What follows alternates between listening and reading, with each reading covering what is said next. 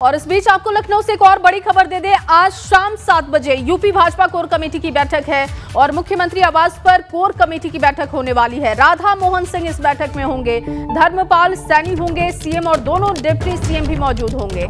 संगठन, नगर निगम चुनाव और एमएलसी मनोनयन की सीटों पर चर्चा संभव है। भूपेंद्र चौधरी के प्रदेश अध्यक्ष बनने के बाद पहली बार ये बैठक हो रही है। कोर कमेटी की बैठक, जो कि शाम सात बजे होने वाली है। संगठन, नगर निगम चुनाव और एमएलसी मनोनयन की सीटों पर चर्चा संभव है।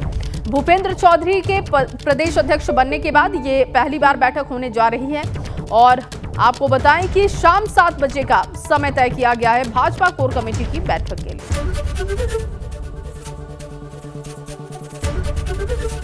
एबीपी गंगा, खबर आपकी जुबा आपकी।